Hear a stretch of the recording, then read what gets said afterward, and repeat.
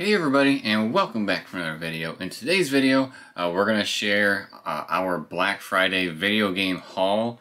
Uh, we bought probably a good, uh, I'd say around 10 games for Black Friday this year. We got some sweet deals so we want to go ahead and share with you uh, the ones we found and what good deals you could pick up this week. So without further ado, let's get started. Okay, so I want to start with the Xbox games. So I play most of my games on the PlayStation. Uh, then I play a lot of the Nintendo exclusives on Nintendo, and then Xbox exclusives on the Xbox. And then all the like cross-platform ones, I basically play on the PlayStation. So I'm gonna start with the Xbox games that I got. Um, one of them is on two different platforms, but at the time, I actually played this game for the Xbox, so I picked up the Xbox One not knowing that it was on the other consoles.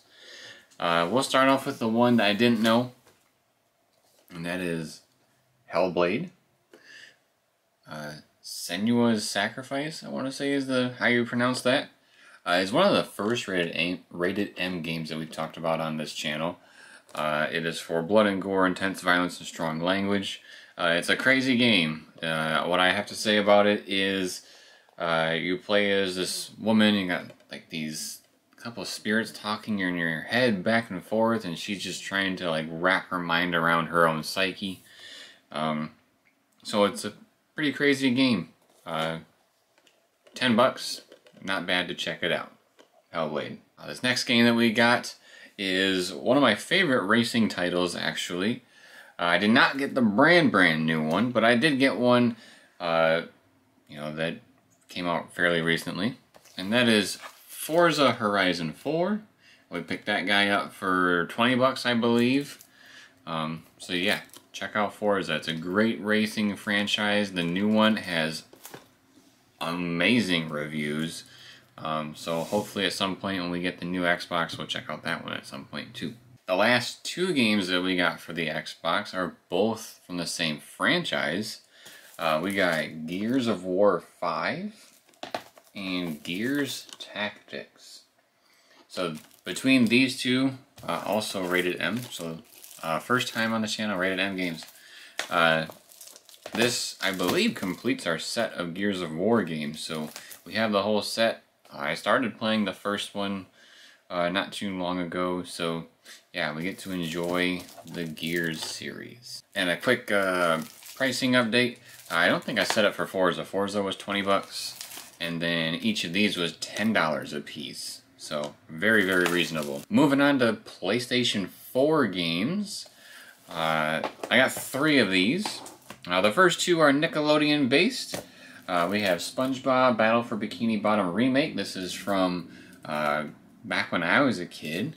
And uh, it's a, a third person platformer SpongeBob game. Very fun, very well done. I played it on the Switch, um, but decided to check it out for the PlayStation 4 as well. So, uh, $20 for this guy.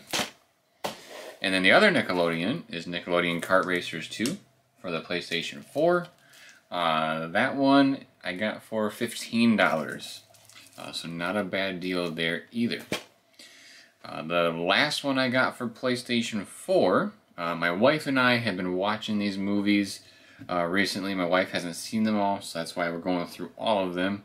But the last PS4 game I picked up was Fast and Furious Crossroads. Now, I know what you're going to be thinking. The reviews aren't very good, but you know what? I don't mind. Uh, it's a casual game to play, especially watching the movies right now, so it'll be a lot of fun to check this out. Uh, I think Fast and Furious was $17.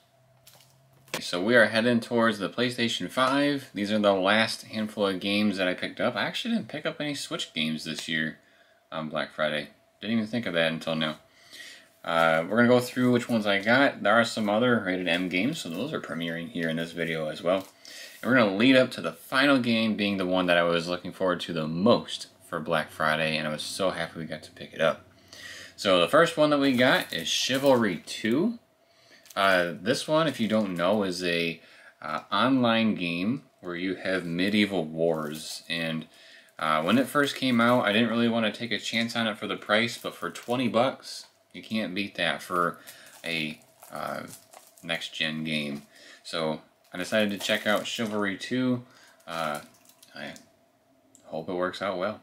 I've seen one of my buddies plays it, so maybe we can hook up and play that as well. The next game that we got actually came out a while ago, but for PlayStation 5 it just came out.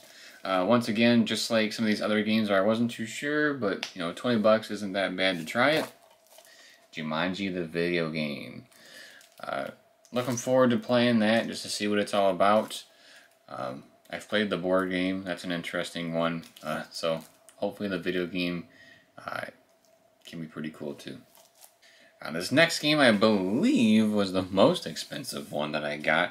Um, simply because I got the one that had all the bells and whistles as far as the version. And that would be Godfall Ascension Edition. So uh, this is one of the titles I believe that came out as a launch title for the PS5. Um, but this edition comes with the game, access to the first expansion pack, um, and bonus gold digital goods. So there's a handful of things. Uh, just the DLC is pretty much worth the upgraded price. So I felt, you know, why not just get it? Uh, so I look forward to checking out Godfall 2 on the PS5. Uh, Godfall was $40. This next game, I was surprised to see how good of reviews it got. So uh, I felt like, you know, sounds like a really cool game. I should probably pick that one up. Uh, that would be Nickelodeon All-Star Brawl for the PS5. Um, got this one for 20 bucks as well. Black Friday is a great time to get cheap games to try out. Um, especially since this just came out like a month ago or something like that. So, looking very forward to this. This is like Nickelodeon's version of Smash Bros. from Nintendo Switch. Um, there's also one coming out from WB that was just announced not too long ago that's going to have a bunch of really cool characters. So, this style of game is uh, you know starting to come into the mix of different franchises. So I'm excited to check out Nickelodeon All Star Brawl. Our final game from our haul is, like I said, the game I was looking forward to the most, and I was like fingers crossed, hoping this was going to be on uh, Black Friday for sales, and thankfully it was. And that game is Guardians of the Galaxy I was really hoping for it. We did not pick this one up day one just because I wanted to gamble that it was going to be on sale for Black Friday. Um, very thrilled we got this. This guy was $30. Uh, depending where you go, uh, you can get it uh, for a couple different prices. But uh, also the Steelbook edition I've seen is on, on sale in a couple different places. Um, but I just felt like this edition was uh, good for us. Uh, I look forward to playing this. I'm sure my wife is going to watch because she loves Guardians of the Galaxy as well. Um, it is made by Square Enix, and I know they've kind of had that hiccup with the Avengers, but uh, this game has amazing reviews, says it's great, so I look forward to it, and I cannot wait to pop this in the PlayStation. Like I said, 30 bucks.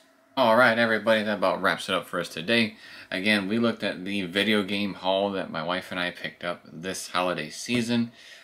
Uh, I believe all, most, if not all of these prices should still be available.